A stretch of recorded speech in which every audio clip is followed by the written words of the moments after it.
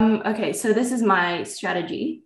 Um, and I named it Architectural Response and Guiding Principles because um, in talking about my architectural response, there's a whole slew of things that I'm thinking about in the background to inform that. Um, and what I mean by that is, well, I'll first get into the architectural aspect of it. So taking on your cue last week about creating a um, research question um, from an architectural point of view, um, I really value materiality and texture. And these are the two things that I really want to focus on. Um, and I guess like more in like the finer detail in order to um, reconcile the built versus the natural environment. So throughout Ball's Head's history, um, you know, we've gone through different iterations of, you know, completely getting rid of vegetation, replanting it. And um, it, I guess that kind of shows like our struggle with our natural identity and, and living in harmony with um, our surroundings. So um, in that spirit, I thought it would be a good idea to um, mitigate, to um, amalgamate the two so that the built is the natural, like we're building from the natural. I hope that makes sense. Yeah. Um, yep. Yep. yeah. So, um, and the the wider guiding principles, um, as you already know, um, permaculture design. Um, I'll be doing a lot more research into the specific placement of um, you know different groups of vegetation, the circulation, how the um, I guess the logical functioning of the site as a whole and how to optimize it because mm-hmm. I think that's the that's the perspective that I really want to um, come down to more from a, like a logical kind of um, mm-hmm. functionality standpoint. I think it's really important um, because this place is supposed to act as a hub. Um, it's a very busy place with um, a lot of work going on, a lot of um, research and, and public education. It really needs to work for the people instead of the people working around the architecture. Um, and yeah, and and um, the title of my project is actually called um, Spirit of Place. And I guess that really sums up my attitude towards this. In addition to all the points that I've mentioned just now, um, I just really want to take a cue from the original people from this land and how they used this um, peninsula as well, because it was a working, functioning um, place of living for them as well. So, so just taking cues from them um, to inform uh, the, the best use of the land. Great.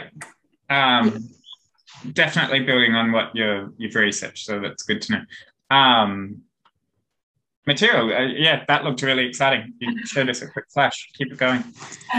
yeah. Um, so moving on to my material study. So this is like getting into the nitty gritty of like what kind of uh, textures can I come up with? What kind of materials can I use? And um, I guess I forgot I forgot to mention as well. It was really important for me um, in this site to only use natural materials um, that is easily um, you know found and could be erected you know with, without like all the carbon emissions and, and all that kind of stuff. So um, so materials yeah, so, that might be actually on the site already, you mean? Yeah, or or or, or, or the surround. Yeah. So I guess I'll like yep. spoil it right now. Um, the, the yep. two materials that I'm working with um, for the past week and I foresee for the future would be clay and cob, which I'll explain yep. a bit.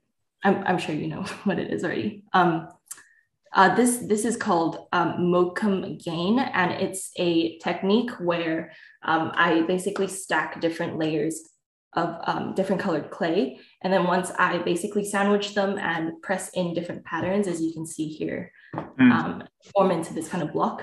The cool thing is um, once I take a piece of string and like slice into it, kind of like bread, each layer is hmm. different and it reveals a different kind of pattern um, and infusion of the different colors, which I thought was really beautiful. And this um, I think could work really well as um, you know some of the feature um, focal points of, of the site. So there's some potential and, here.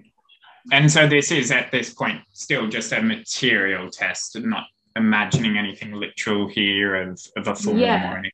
Um, but yeah. I, I think the really interesting thing for me is taking this thing, this block, I guess, which pretty mundane from the outside. In this slicing, you get complete different stories at each yeah. slice.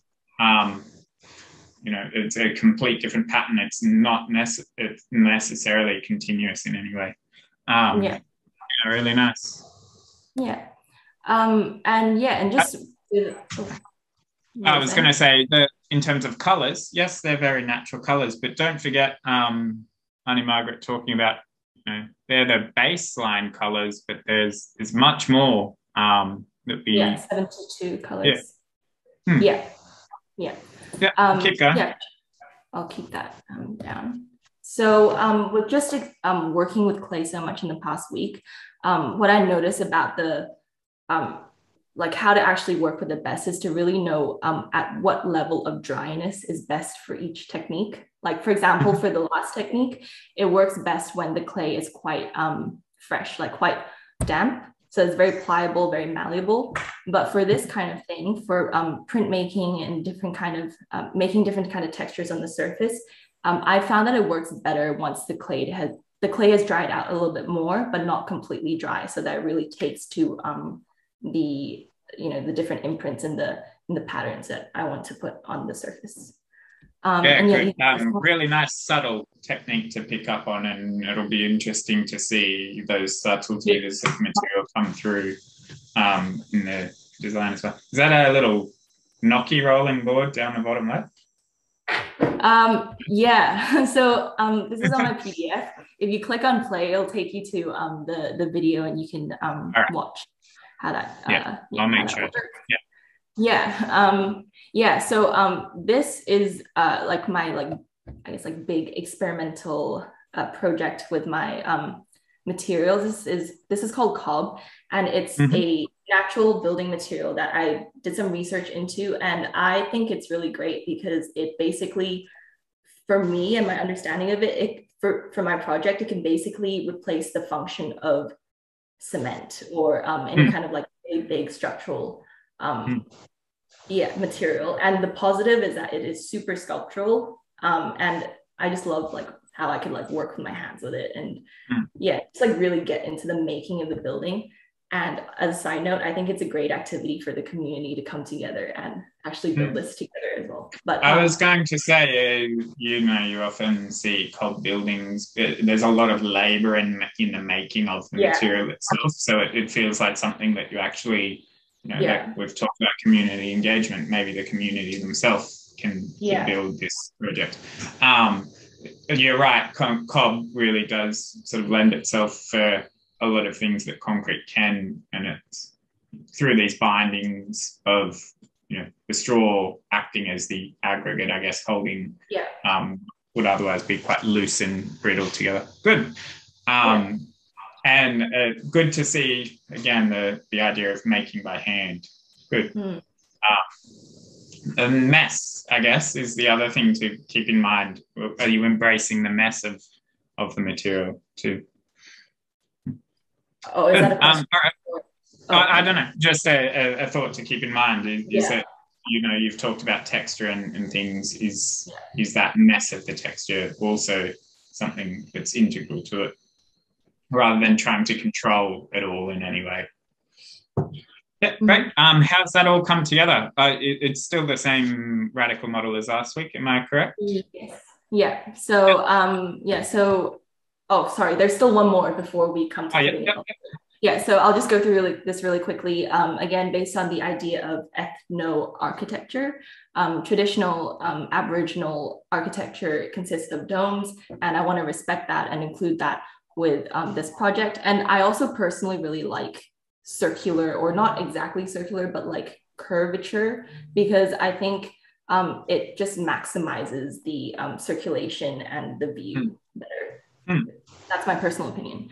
Um, and just in terms of technique, um, this clay is casted into um, the mold. And then I call this the uh, subtractive technique, which is where, so I put on a layer of the clay and then I go back in and then um, take out, so subtract um, the um, openings. And that's the way that I've uh, basically created that piece. And, mm. and other techniques include um, this one here, which is where I rolled up the clay into like a, a really long snake. And then I started like coiling it around um, to form a dome. So yeah, so I'm just playing around with different ways that I can form these shapes using mm-hmm. that material. Great.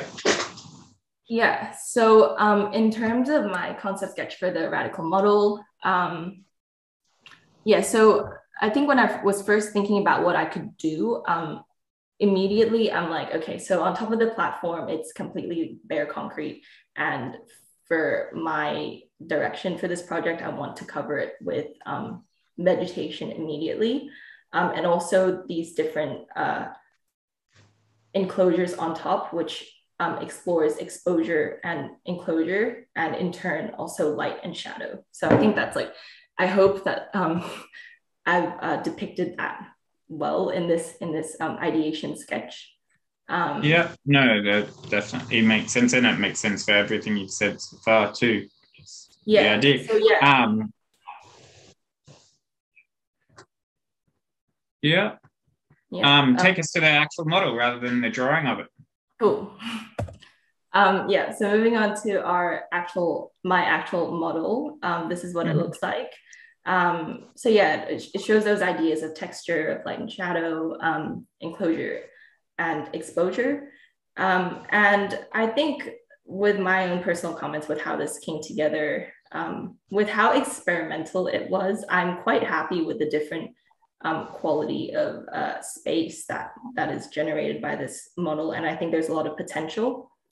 Mm. Um, I'll, I'll, I'll talk about circulation in the next slide, but yeah, as, as you can see, um, I've added like little people in there to so you know give you give yeah you get a good sense of scale. And again, sort of um, just um, clarifying in terms of anything literal here, is this imagining half is it carved away under the coal loader and those bits are added on top? Is that the intent there?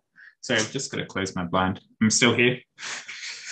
Um, did, did were you asking if this would be set into the platform? Is that what you meant? Yeah, is so the on that top one, top left one, the one, the person dancing. Um, yeah, is that the current level of the coal loader in your mind? Um, see, these are the details that I think I'll have to iron out moving forward. Yeah. Um, no, that's fine. I just wanted to know if you were thinking that literally yet, or yeah. still just well, an idea. That's fine. Yeah. Well, to answer your question, I intended the um, cob as the base. So yeah. where that sits. Well, I was going to say, material wise, it, it feels like, particularly when you're talking about um, um, using materials on site, it almost feels like one um, one should be that that existing landscape, I guess, and then the other yeah. is the those materials added. Yeah. Uh, yeah. Um, and but you're right. The the different various forms of exposure and um, enclosure, similar to what we just talked about with Charlotte. Um, really identifying, I guess, where on site it does make sense yeah. to have those prospect moments where it um, makes sense to be purely re- refuge. Um, your title of Spirit of Place, I'm assuming you might be aware of Lemerket then, um, but he talks all about prospect and refuge, and it feels quite um, important here. So to understand um, where makes sense, and then I guess building on your sort of other research of the water and the sunlight and um, and things like that, it feels like again understanding those patterns is the is the first story to to understanding where makes sense to have these um, obviously really rich experiential spaces, um, that's the way forward to me. Um, makes sense. Um, but yeah. you said there was something about circulation as well. Just quickly. Yeah. Um, yeah. So as you can see, um, this is like hollowed out the top layer. Um, mm-hmm. Yeah. So so you know, there's just this um, inter. That's the benefit of the 360 degree shape, so mm-hmm. that um, it feels like you know people could mingle in like the hive you know amongst the hive mm. instead of ooh, turning corner but um yeah and and just the last thing is um this thing that i tried to make to um resemble a landmark feature that i think might be an option um, and it's supposed to be um, the way to symbolize the whale dreaming of like how the whale ancestral creators were like dancing from the sky world to the physical world. I thought that it's like a nice um, homage to to pay uh, you know hmm. to the um, original custodians. Um, and yeah, so I think like those are all the ideas in my um, great. Um, oh, yeah. yeah. that's just further yeah, explaining. The last one is just a, it's just the mood board. It's just um like yeah. really potential really going forward. Yeah. Um, ah, okay. So that does show a bit more idea of scale. I think at this point, you know, it's good that you've imagined that down there, the that photo montage of it on the site. But I, I think um, before you get to that point, make sure you've got that real because then yeah. you've got that understanding of water and patterns. I think yeah. that's the the the first step to really imagine or figure out and let the site tell you um, how these things are placed um, on it. But going back to the previous slide, so um, I like the, as you said, various forms of inclusion um, and space. Definitely play with scale too. I think um, yeah. it was a complete different idea. I think someone previously was talking about carving in, um, but here these little what what was your word for them? The um, whatever the little enclosures are. You know, maybe oh, some are made yeah. Yeah, maybe some are made for two people, maybe some are made for 10 people, yeah. maybe some are made for um, 100 people to all come together. And again, yeah. then that can feed into your understanding of where makes sense to have these things. Um, but yeah, to treat it as a language to to yeah. continue. And again, um, not a. I like that you're not set on a particular form, but each is sort of a different level of enclosure um, that would make sense in a particular case. Um, yeah, great. Really good. Thanks, Jeannie.